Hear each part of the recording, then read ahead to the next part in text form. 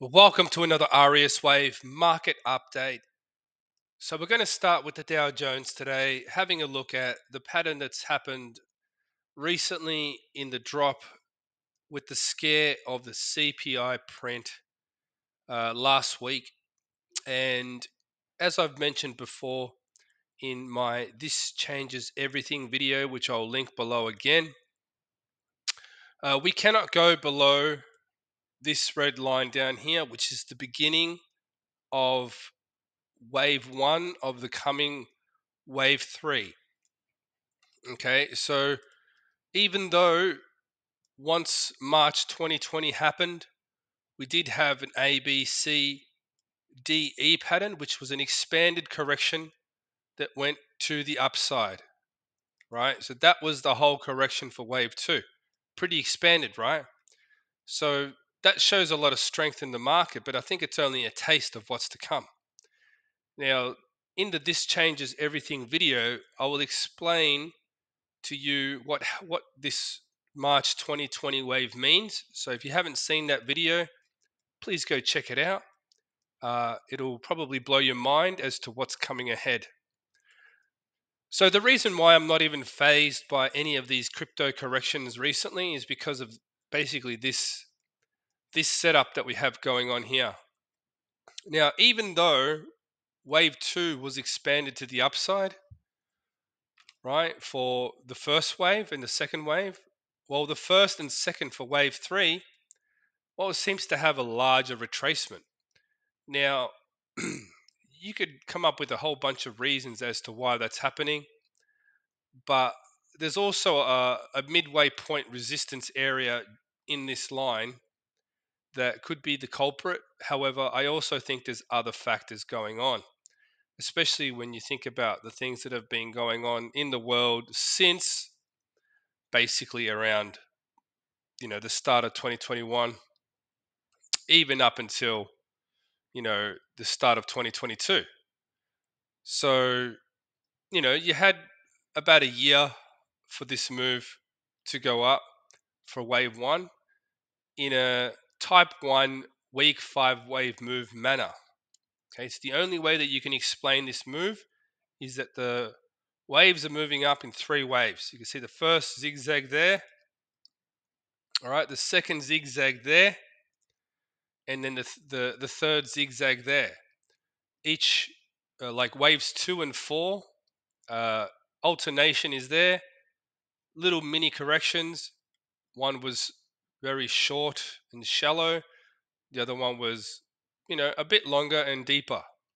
But that marked the top of the first wave of the coming third of a third wave.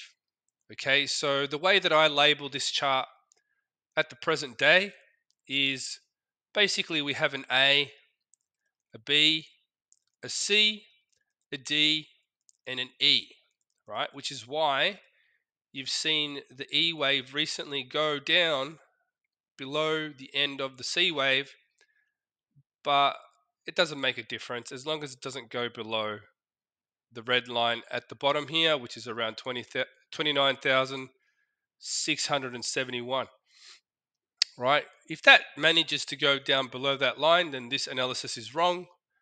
But I highly doubt that that's the case, just given this particular wave structure. If it was to be the start of something more severe to the downside, I would expect that this would be at least some kind of five wave move, beginning of a trend. Now, so far, we have not seen that. So I'm basically telling you that if this is correct, this is a good place to go long. If, if you know, if you happen to be one of those futures traders where they need to put a stop somewhere, you'd put it down here uh, at 29,671 on the US 30 chart. Right. So in saying that, we'd need to see a break above the magenta line, which is where wave E started. So that area is around 33,513. Not saying you can't get in early, but just remember, I am not a financial advisor. So you do whatever you want to do based on your own research. But I do believe that this will then start the next leg up that will take us much higher, much, much higher in a parabolic manner. Right? And if it's not extremely parabolic, well, it's still going to be pretty big. Right? So my target for this is around 130,000 roughly on the Dow Jones. This is the type of move that we're looking for to end this cycle. Okay, so I understand interest rates are moving up. I, I, totally get that. But it's got nothing to do with this pattern. So if you want to understand what that midway point is of that, you know, what I showed you that we had some resistance at the first green wave one. Well, the way that I measure this is I take the beginning of A wave, which is the 1987 crash, and I draw a parallel line to the end of wave E, which was uh, the March 2020 crash, the low of that, right? So if you watch that video down that I'll link, that explains that this was the end of the correction. It was a 20 year correction from 2000 to 2020. After that, we need to see the similar length of the A wave. Here, we need to see that similar length go all the way up to 133 or 130,000. Okay, we have not seen that completed yet. This is coming. After this completes, sure, then we can expect a pretty drastic pullback, a, a recession or a depression, whatever you want to call it but I don't see a recession yet, right? With all the FUD going on in the media, I keep stressing to people that this is just a ploy to get you to sell so they can buy, right? Liquidity, there's a buyer for each seller. So, right now, the thing to keep an eye on is a break of that magenta line without going below 29,671. This is key. This is the key component here, right? This is why if you look at my latest XLM um, analysis, you'll see a very similar type pattern at the lows. We had a D and an E, right? If we break above 15 cents, roughly, then you can expect to see a continuation of this trend to the upside that will become more impulsive as time goes on. Let's take a look at the 10 year yields, right?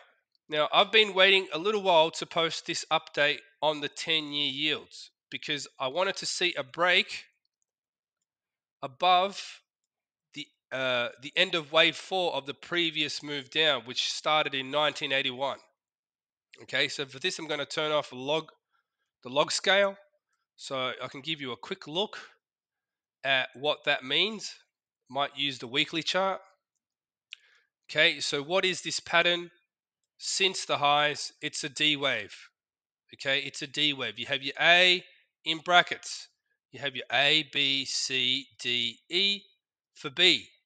And then you have a type 1 weak five wave move. One, two, three, four, 5. That completes wave C in brackets for wave D. We are now looking for a sharp 5 wave move to the upside. Interest rates are going to go through the roof. Okay, so if you think that that's bad for stocks, think again. It's not the first time that the stock market has gone up during a period of high interest rates. And to prove that to you, all you got to do, you can't see it on this chart, but we had basically almost 0% interest rates in 1941 right? So go find that chart. It's i believe it's on my website. You can have a look there. In 1941 we had record low interest rates right? Now if you want to compare that to back from 1941 area to 1981 the market went up during that time Okay, so higher interest rates does not mean stock market crash. Right now, there are probably other dynamics at play that could be the cause for this.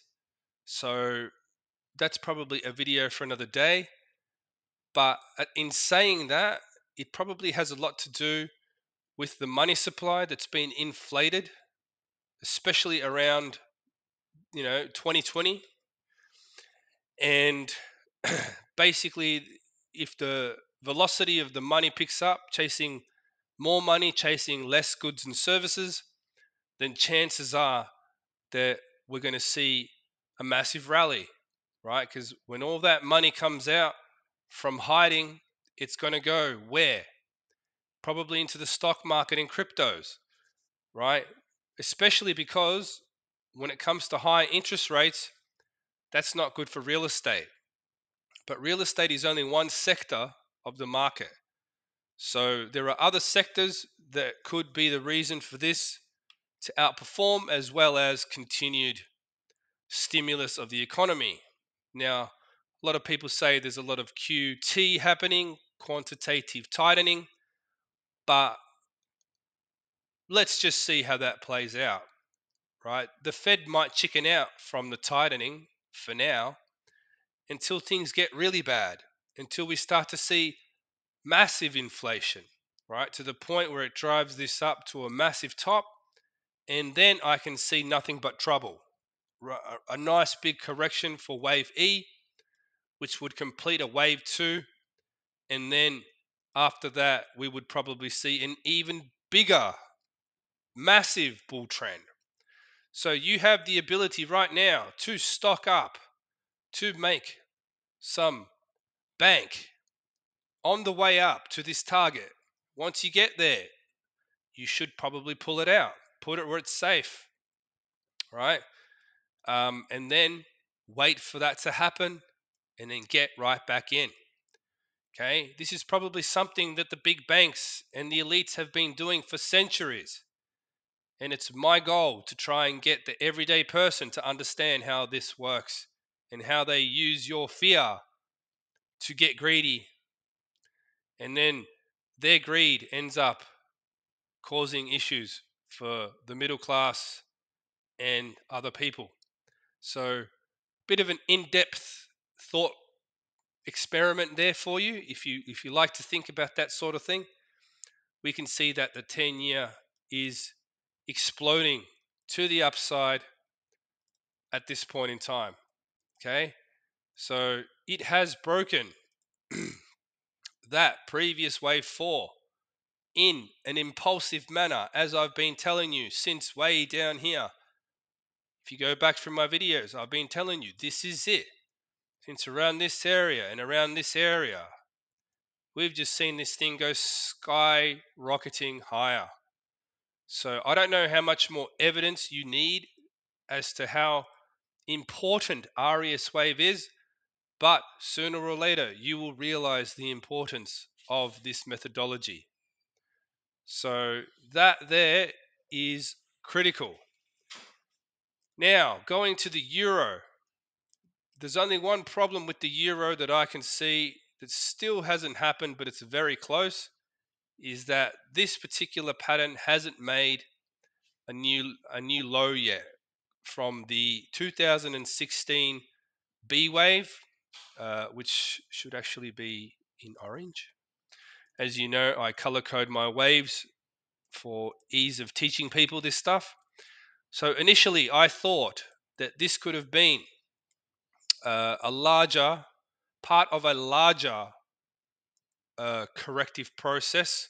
Uh, this being like an uh, an A, uh, and then a B, C, D, E, but instead, I'm now taking the view that this is a A in brackets A, B, C, D, E, which means technically all we need to do is break that green line before we see wave C start to the upside, which to me would be bullish like crazy. Bullish for everything except the US dollar. Okay, so I had that one up my sleeve in case I found the the one thing that is basically the difference between a bear market and an absolutely massive rally. And I figured that that was the key component as to how to distinguish between the both. Now, the C wave doesn't necessarily have to be as long as the A wave, as long as it makes the final low out of the previous uh, waves, right? So we're very close to that now. All it takes is another drop down. If you look closely, what's happening at that bottom end, you can see that that final drop looks to be underway. As soon as it basically dips down a little bit more, we could see a massive reversal to the upside, which would take stocks and cryptos to the moon, basically. Right? I don't really like using that term, the moon, but it's going to go pretty high. Now, we're going to use these charts to uh, cross reference and use for confluence along the way so that we can be ready for not only you know observing the beginning of the trend during the trend the strongest part and then finally when we hit that top we want to have every single chart at our disposal to confirm the price action as it occurs right?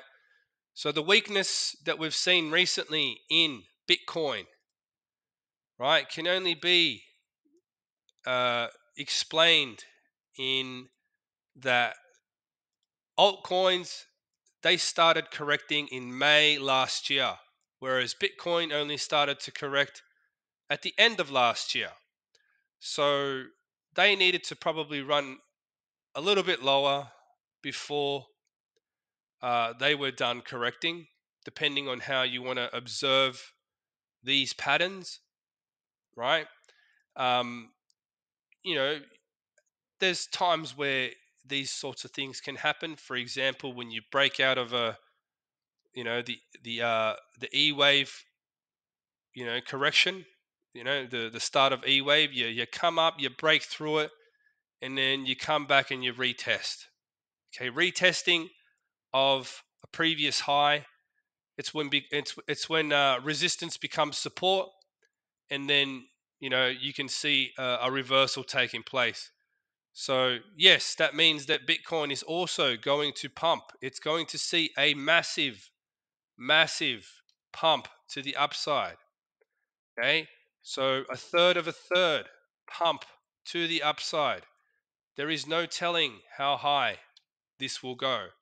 There is no way to measure this sort of thing apart from keeping an eye on all of the charts as they progress. Okay, so I'm going to leave it there for now.